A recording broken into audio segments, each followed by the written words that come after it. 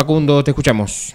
Sí, gracias Darío. Información que tenemos desde el cuartel de bomberos voluntarios de Esquel, un procedimiento que desarrollaron eh, los bomberos de nuestra ciudad allí en la zona de el viejo expreso patagónico La Trochita, en la calle Don Bosco puntualmente. Recordemos que hace algunas semanas atrás, un mes y medio atrás aproximadamente, también se desarrolló un procedimiento porque las alcantarillas, estas que se instalaron hace poco, donde se hicieron los cordones cunetas, se hizo eh, parte de la pavimentación, eh, del adoquinado, también se instalaron unas este, eh, alcantarillas, pero que aparentemente traen alguna complicación porque están muy separadas, ¿sí? Y una persona, bueno, ya tuvo un accidente que quedó con eh, un pie enganchado de esta alcantarilla y en la tarde, noche de ayer ocurrió algo similar. Vamos a hablar con Miguel Andén, que es el jefe del Cuerpo Activo de Bomberos Voluntarios de Esquel, bueno, para consultarle cómo fue el procedimiento y qué fue, cómo ocurrió este, este hecho. Miguel, buenos días.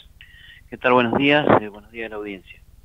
Sí, pasadas las 19.50 horas de ayer tuvimos otro otra persona que tuvo una, una emergencia con estas alcantarillas eh, con características similares a la anterior, ¿no es cierto?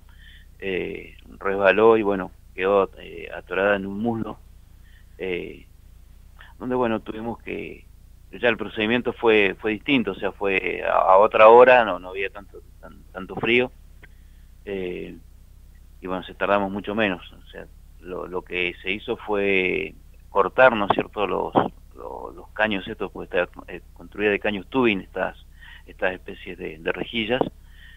Eh, tuvimos que cortar y bueno, expandir con, con, una, con las tijeras nuestras, eh, expansoras, eh, para poder retirarlo.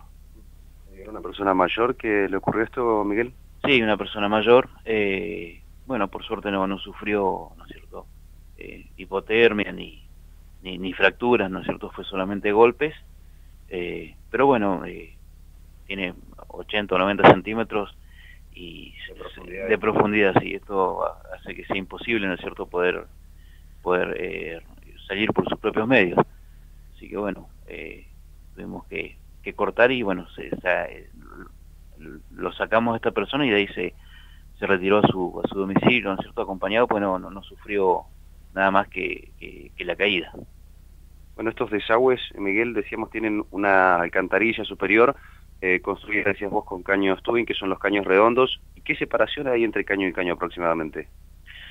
Eh, sí, es relativo. Hay, hay partes que, que, que, está aproximadamente unos 15, 15, 18 y hay partes que está a 20 centímetros más o menos. Eh, lo que pasa es que los caños, eh, estos caños tenían particularidad de ser muy, muy resbalosos. O sea, cuando ahora con esta con el tiempo que tenemos, ¿no es cierto?, eh, la lluvia o nieve por ahí hace que sean, que sean terribles. Entonces, eh, la gente, bueno, cruza por ahí y, y un resbalón, ¿no es cierto?, y queda, queda, queda atrapada.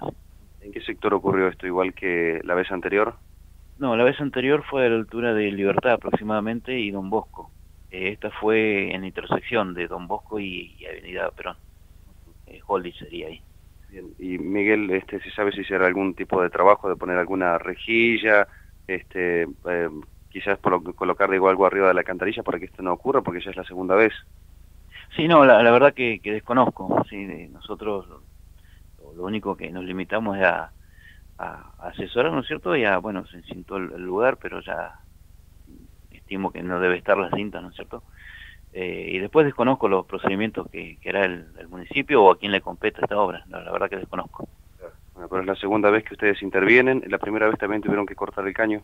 Sí, la primera vez cortamos el caño, lo expandimos de, de la misma manera, eh, y bueno, fue eh, a la madrugada, a 3 de la mañana creo que era, no, no recuerdo bien, eh, y bueno, suerte que alguien vio, ¿no es cierto? Si esta persona hubiese pasado toda la noche atrapada, por ahí el desenlace hubiese sido distinto.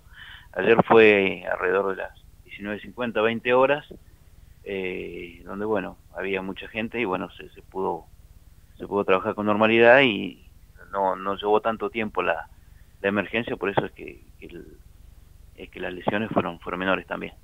Miguel, muchas gracias. Eh. No, a ustedes, buenas tardes.